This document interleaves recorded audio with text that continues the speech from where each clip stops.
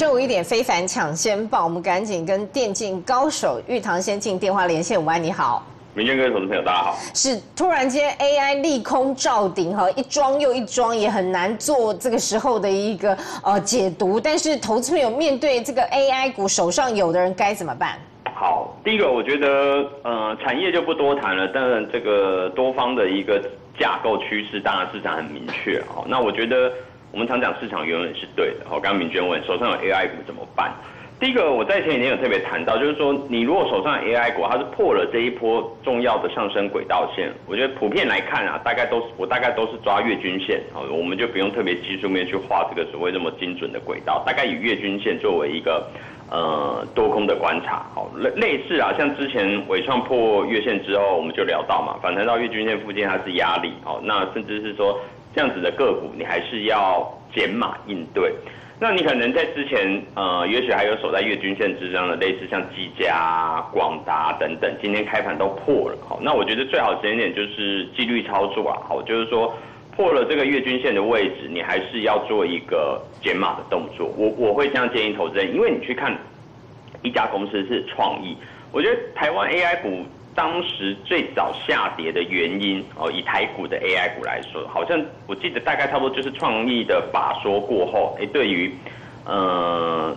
那个下半年的一个营运的看法比较保守资金，那时候隔天创意就跌停，哦，然后就让一些 AI 股开始有点卖压出现。那你看创意哦，那个时候第二天再跌的时候，黄色那条季线跌破，哎，市场也认为好像有点跌过头，跌过深了，哦，是不是可以空手考虑低跌等等？哦，但是。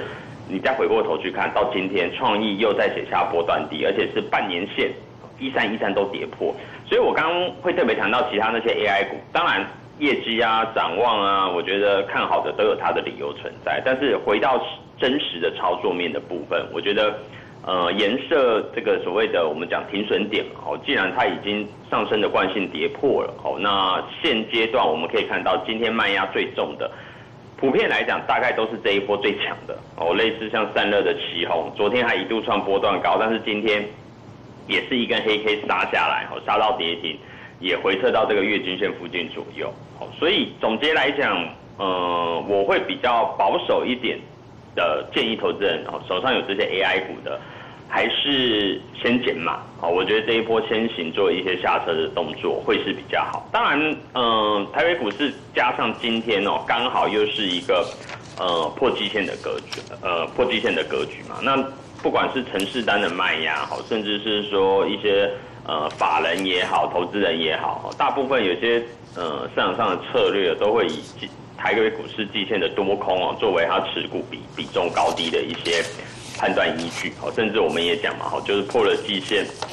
代表台北股市有转空修正的疑虑，哦，这个都会引发市场上比较大的卖压出来，好，那当然你说到底跌到哪，跌到何时，我觉得目前还很难去做一个研判，好，但是按照比较纪律型的操作，哦，你不管是像涨多 AI 股是破月线的，哦，甚至是一些像类似像台股一样横盘整理一段时间，破了季线的个股。好，先卖，好，先减码。我觉得第一个就会提醒投资人要做的。当然，资金的部分，我觉得现阶段来去看哦，可能先避开 AI，哦，涨多的 AI 股会比较好哦。因为六七月份可能你你这些个股只要能跟 AI 沾上边的，哎，都都会是标股。好，但是现阶段可能跟 AI 有相关的，反而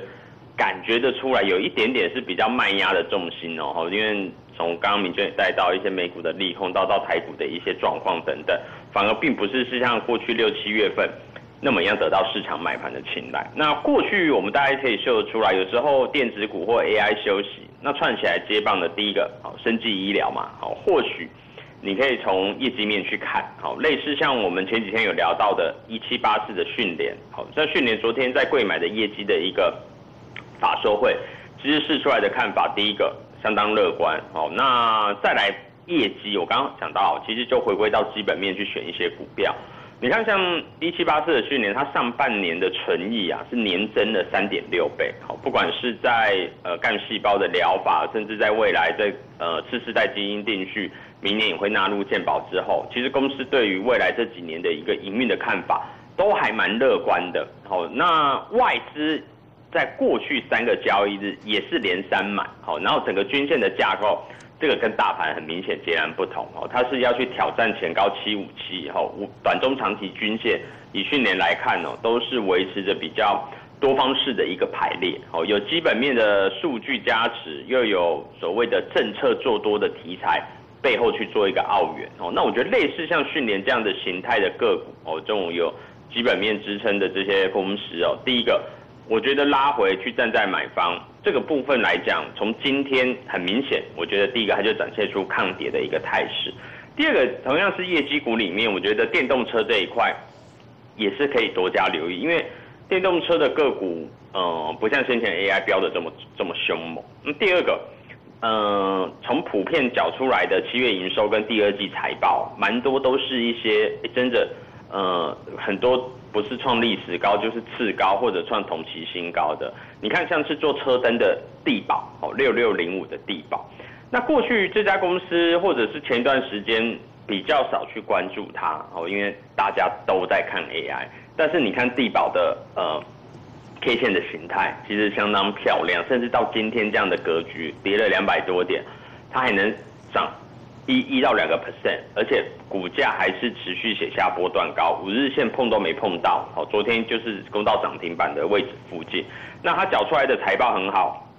上半年赚了六块七哦。然后你你去看哦，现在股价一百多块哦，那推估一下，它去年大概赚一个股本，那上半年就赚六块多哦。所以假设啦哦，假设今年也是跟去年一样赚一个股本，第一个本益比都不算高，那第二个。可能今年我刚刚讲一个股本都保守，因为下半年来讲，呃，整个 AM 市场都还是相当市场需求的乐观哦，所以有一些呃这些电动车相关的个股，我觉得趁着今天大盘拉回，有些被比较压抑的，你可以特别去留意，因为同样是做这个呃车灯的，好像是这个沥青三三四六的沥青。沥青的业绩也很好，不管是上半年的 EPS 好，然后这几个月缴出来的营收，年增率都是双位数，而且有时候是三位数的倍增。但是你看沥青的股价，反而在今天呢是回撤到黄色的季线附近。那我觉得啦，地保可以这样冲上去，同样是在车灯的一个部分的话。那以沥青来讲，我觉得这个位置点，哦，今天的下杀会不会有一点点是被市场的卖压所拖累？哦，你可以从这个角度去看。再来像是 PCB 的一家也是一样，七月营收啊也是缴出非常好的一个成绩，月增年增分别都有十一趴、二十九趴。那一家在之前也谈到嘛，在今明年车用的营收占比现在可以来到七成，而且这一块的毛利率获利相对是更高的。哦，所以它在。嗯，上礼拜公布营收，还有一度冲高到三九五，然后这几天大概就是在五日、十日月均线附近做整理。那回到这个时间点，哦，就是说这个位置点，我觉得大概啊，我们大概可以抓月均线作为一个支撑参考。哦，那我觉得这一类的一个业绩好的公司，我倒觉得逢回之际，哦，今天大盘的拉回。呃，我开始谈到，先避开涨多 AI 破线的个股，但是这些业绩好的公司，我觉得回支撑，回到一个呃，我觉得是呃，相对来讲比较在今天是被大盘好整体卖压所拖累的这些绩优个股，我觉得拉回来是可以站在买方的。好，那我们特别也把 H 三十一七月份营收双成长的有太空梭、瓦城、金逸鼎、深达、裕民、奈米一材、立志、智信、科丰、永德。还有唐荣、胡联、嘉荣、秦邦，还有远雄来哈，今面再继续滚动一下，七月份营收双成长的。那我们跳到 H 三十七，等于说第二呃 H 三十六第二季获利成长的有群光、星星、中钢构、宝雅、王品、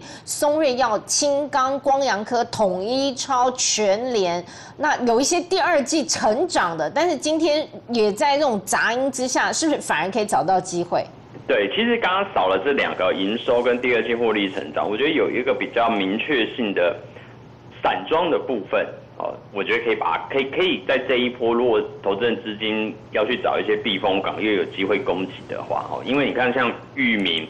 缴出来的财报其实算不错哦，然后七月营收也是持续性的一个成长公告。最近的股价看起来虽然还不到是一个转强的形态，但是底部有慢慢的浮现。那刚刚谈到第二季获利成长，还有像二六零五的新星哦，这个其实散装的一个部分，或许不敢期待有大幅度的一个反弹，但是看起来。好像有一点点慢慢的，呃，不管你从 B D I 指数去看，哦，或者从目前国际的一些农粮价格有渐渐走升的话，对 B D I 都有一定的推升效果。甚至像二六一二的中行，哦，其实今天还能维持红盘的格局。那股价在前一波冲高之后，又回到了呃季线附近左右支撑的一个位置。哦，所以我觉得刚刚看了一下这些营收获利成长，当然都是比较一些呃个别题材股。那如果以族群性来看的话，散装这个部分会不会接下来有机会，呃，也是成为资金的避风港？我觉得可以持续去再从后续性上来讲，